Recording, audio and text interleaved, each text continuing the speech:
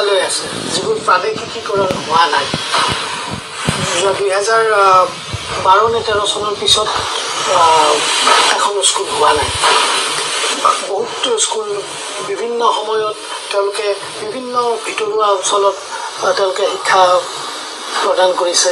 বিভিন্ন ল'ৰা ছোৱালীক শিক্ষা দি আহিছে।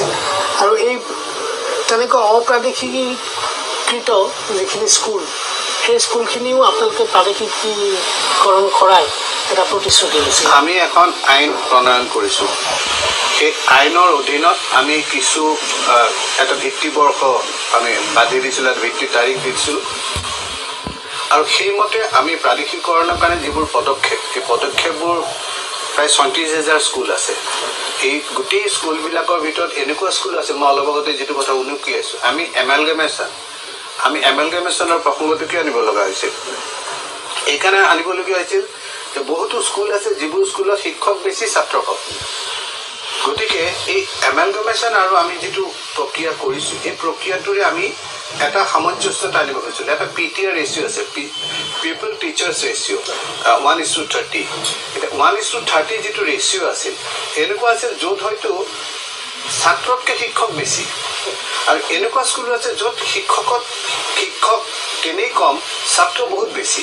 গতিকে এই গোটেইখিনিৰ মাজত এটা আমি তেখেতসকলৰ মাজত সামঞ্জস্য আনিব য'ত অধিক শিক্ষক আছে শিক্ষক নথকা বিদ্যালয়লৈ আনিবলৈ এটা প্ৰক্ৰিয়া আমি আৰম্ভ কৰিছোঁ। এই প্ৰক্ৰিয়াটো সম্পূৰ্ণ হৈছে।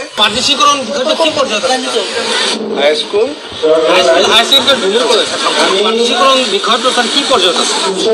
এইটো আমাৰ আমি এই ক্ষেত্ৰত যিটো আমি সিদ্ধান্ত ল'বলৈ সিদ্ধান্ত লোৱা হৈছে এই ক্ষেত্ৰত খুব কম সময়ৰ ভিতৰতে আমি নীতি নিৰ্ধাৰণ কৰা হৈছে আৰু সেই নীতি আমি ইমপ্লিমেণ্ট কৰিম। কোনখিনি? এলিমেণ্টেৰী এলিমেণ্টেৰী যিখিনি এলিজিবল মানে। নহয় জানো? সেইটোৱে সুধিছেতো তেখেতসকলেতো পাব। পৰ্যায়ক্ৰমে পাব। একেলগে প্ৰায় চবকে দিয়া সম্ভৱ নহ'ব। যিখিনি আমাৰ এতিয়ালৈকে প্ৰচেচিঙত প্ৰথমে আহিছে তেওঁলোকৰখিনি আগতে হ'ব তাৰপিছৰখিনি হ'ব এনেকৈ হ'ব। কিন্তু আইনৰ আওতাৰ থকাৰ ভিতৰতহে। স্যাৰ সৰকাৰে যেহেতু সৰকাৰে যেহেতু জনসংখ্যা নিয়ন্ত্ৰণ আইনটো হাতত লৈছে এইটো আমাৰ অধ্যয়নত আহিব নেকি? হাইস্কুলত ছাত্ৰ ছাত্ৰীৰ উদ্দেশ্যে এইটো অধ্যয়নত আহিব নেকি? এতিয়ালৈকে আপুনি কৰ্চটো দেখিছেই ছাৰ এতিয়ালৈকে কৰ্চত দেখিছে নেকি সেইটো? গতিকে ভৱিষ্যতে কি হয় ময়ো সেই যেতিয়া আহিব তেতিয়াহে গম পাম। ছাৰ